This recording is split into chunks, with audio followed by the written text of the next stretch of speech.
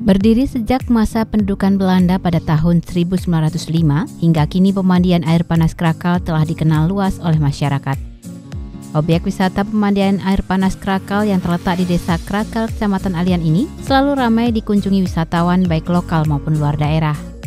Namun, seiring berjalannya waktu, objek wisata yang dikelola Pemkap Kebumen ini sempat mengalami penurunan pengunjung. Bahkan, tempat wisata ini hampir jarang terekspos dan muncul informasinya. Sepinya wisata pemandian air panas Krakal dikarenakan mulai banyaknya destinasi wisata baru di Kabupaten Kebumen.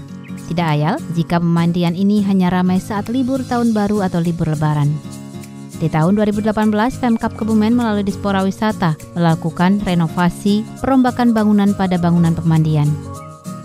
Seperti terlihat, tampak berdiri bangunan gedung-gedung dengan tiang-tiang yang kokoh berwarna putih Bangunan juga didesain dengan ornamen dan patung-patung yang menyerupai bangunan Yunani.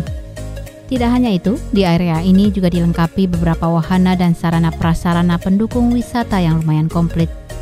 Selain tersedia kolam renang khusus untuk anak-anak, di bawah dua bangunan menyerupai kubah yang cukup megah, juga tersedia tempat duduk yang nyaman untuk wisatawan yang ingin bersantai. Meski proses pengerjaan bangunan belum sepenuhnya selesai, namun sudah banyak menyedot perhatian pengunjung yang datang.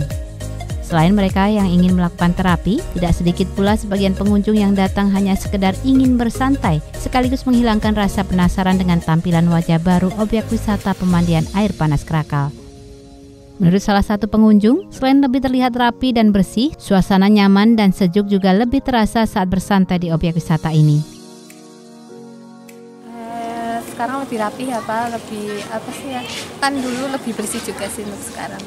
Hmm lebih bagus maju lagi mungkin ada kolam yang lebih besar untuk main anak-anak biar lebih nyaman Dijelaskan oleh pihak pengelola, renovasi objek wisata ini dibangun mulai tiga bulan lalu dengan total anggaran senilai 1,6 miliar rupiah.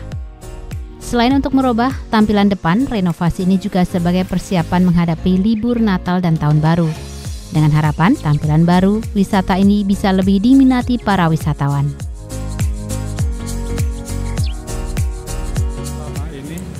Dari kurun waktu tahun 2000-an dulu ada bantuan gubernur baru saat ini ada uh, kegiatan yang sifatnya merubah secara frontal wajah depan ke yang diharapkan dengan perubahan wajah depan uh, kunjungan bisa lebih meningkat.